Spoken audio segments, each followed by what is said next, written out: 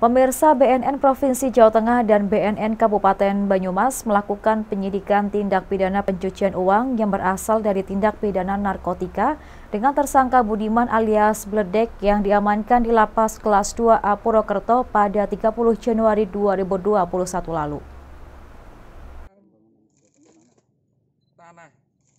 BNN Provinsi Jawa Tengah dan BNN Kabupaten Banyumas melakukan penyidikan tindak pidana pencucian uang dari tindak pidana narkotika dengan tersangka Budiman alias Bledek 43 tahun, warga binaan Lapas Kelas 2A Purwokerto.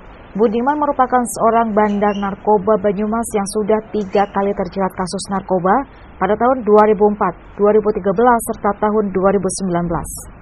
Walau dalam masa kurungan penjara, tersangka tetap menjalankan bisnis haramnya dari balik jeruji besi sejak tahun 2016 lalu.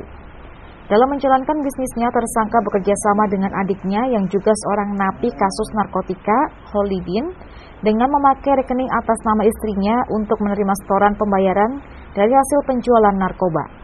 Dalam penyidikan ini, BNN Provinsi Jawa Tengah dan BNN Kabupaten Banyumas menyita beberapa aset milik tersangka, mulai dari tanah seluas 169,4 meter persegi, 22 burung berkicau senilai 100 juta rupiah, uang tunai 6 juta rupiah, dan buku tabungan. Total aset milik tersangka yang disita oleh BNN Provinsi dan BNN Kabupaten mencapai 606 juta 500 ribu rupiah. Yang bersangkutan merupakan perannya adalah sebagai bandar narkoba di wilayah Banyumas ini. Ya. Jadi ya, beliau itu mengambil barang dari berbagai tempat. Ya. Nanti akan saya ceritakan kronologisnya. Kemudian BNNP Provinsi Jawa Tengah beserta BNK Banyumas ini bekerja dengan Kalapas untuk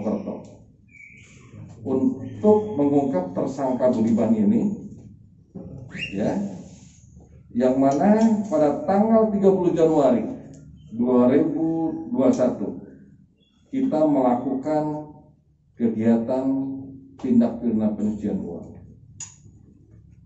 Di mana dalam melakukan tindak pidana pencucian uang ini kita mulai dari tahun kasusnya 2016 ya Budiman sudah terjerat kasus narkoba sebanyak tiga kali.